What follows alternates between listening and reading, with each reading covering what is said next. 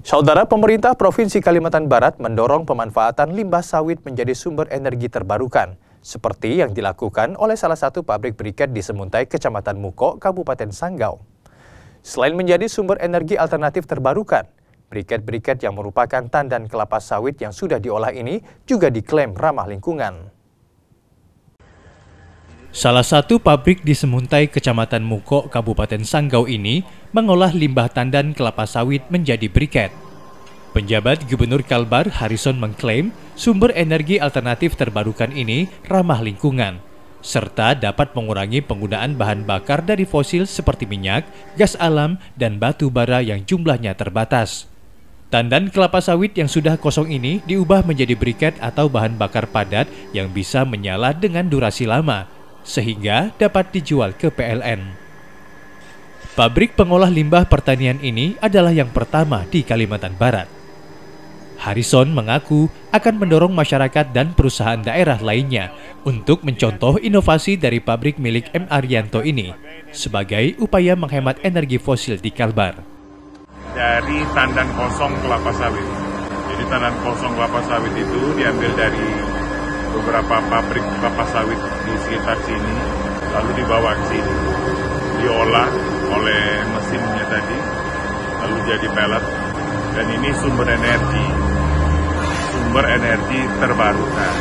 Pabrik ini menjualnya kepada PLN, ya, itu harganya satu kilo sekitar 1.900 sampai 1.100 ya tergantung jauh PLN-nya satu kilo pelet dari tandan kosong ini itu menghasilkan kalori sekitar 4.300 maksimal.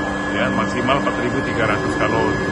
Sementara kalau batu bara itu satu kilo itu menghasilkan sekitar 3.950 50 kalori Sementara itu, pemilik pabrik pengolah briket M. Arianto menyebut inovasi yang dijalankannya bekerja sama dengan Universitas Tanjung Pura saat COVID-19 lalu.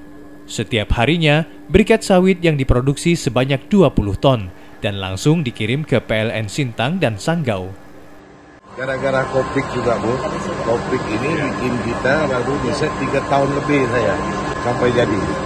Kita riset mesin kita beli, beli, beli banyak gagal Nah, ternyata terakhir Alhamdulillah kita sudah modif lagi di dalam dia bisa hasilkan macam ini. Kemudian kita Sintang Sanggau. Terus ada ke apa itu yang di dekat Singkawang. Yang PLTU juga. Pabriknya yang di Sambas itu. Kelebihan dari tangan kosong sudah pasti kelebihan.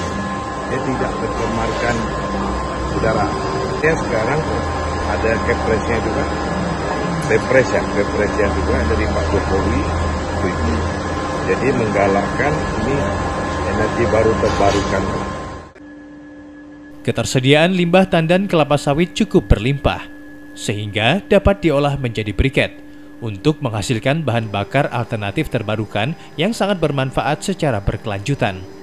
Suci Lucinda, Kompas TV, Sanggau, Kalimantan Barat.